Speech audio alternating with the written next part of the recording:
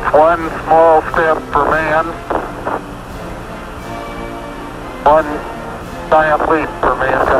O un gran presupuesto para efectos especiales.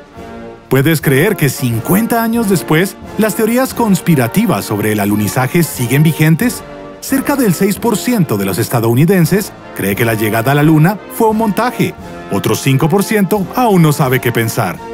¿Qué crees que se habría necesitado para lograr tal engaño? ¿Cuántas personas debieron permanecer calladas? ¿Cuánto habría costado? Esto es, ¿qué pasaría si...? Y esto es lo que tendría que suceder para simular un alunizaje. Luces, cámara, acción. Julio 16 de 1969. Base espacial, zona de lanzamiento. Neil Armstrong, Buzz Aldrin y Michael Collins abordan el Apolo 11 con la Luna como destino.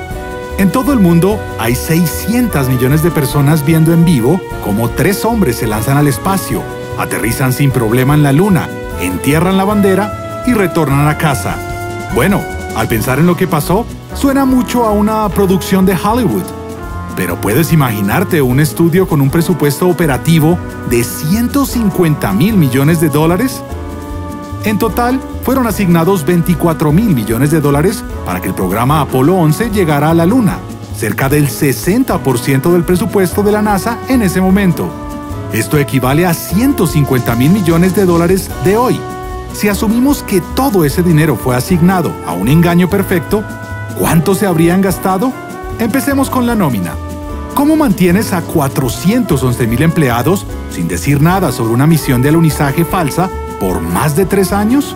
Un soborno podría comprar el silencio de algunos. Actualmente, los empleados de la NASA ganan en promedio 62.500 dólares.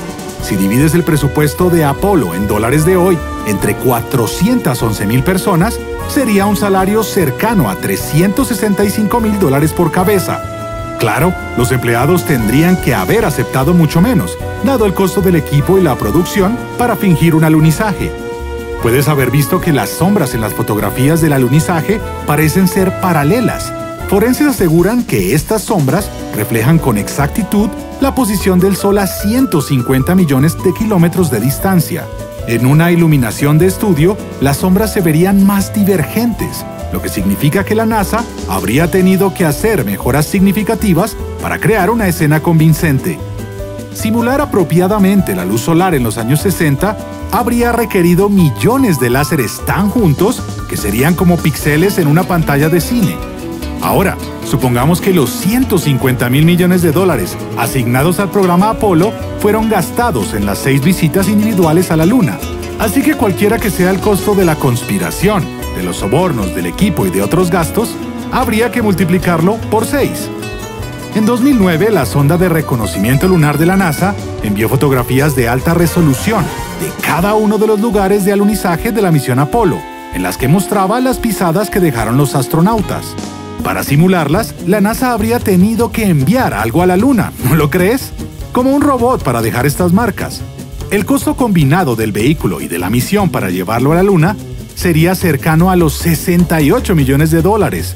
Y claro, otros 504 millones para que la sonda tomara las fotografías.